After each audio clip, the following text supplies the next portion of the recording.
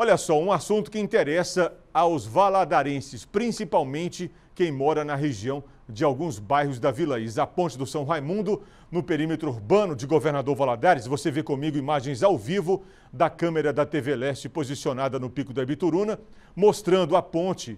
E o que vai acontecer é que ela vai passar por obras de recuperação das juntas de dilatação da estrutura.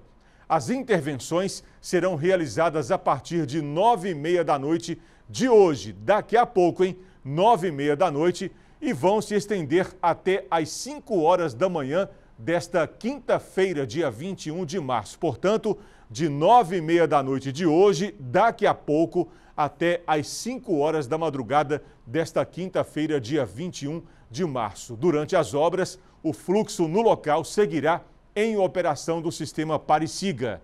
As atividades vão ser realizadas em período noturno, justamente para não impactar o trânsito na região e proporcionar a segurança de quem estiver trabalhando nas obras.